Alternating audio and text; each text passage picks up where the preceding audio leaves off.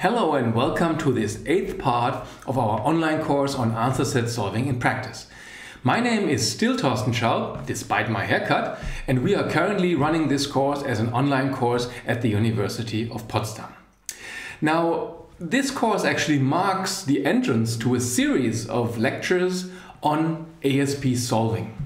And I like this part in particular because we will derive algorithms for solving from semantic principles, actually from the consequence operator and the definition of a stable model. In this way, we are really coming uh, to algorithms from first principles, like uh, what is a TP operator, what is the consequence operator, how does the reduct come in, and this will allow us actually to come up with the first algorithmic framework for computing stable models.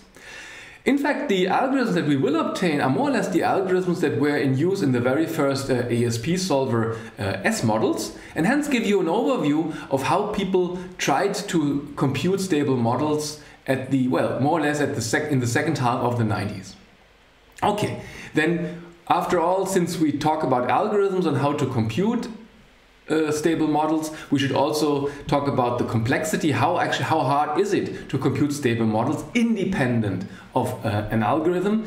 And because this will also tell us actually where we have to take care and which things have to work in a certain way. Anyway, just hand waving, let me zip this and now start with recalling uh, things that you already heard about in the introductory section about the consequence operator.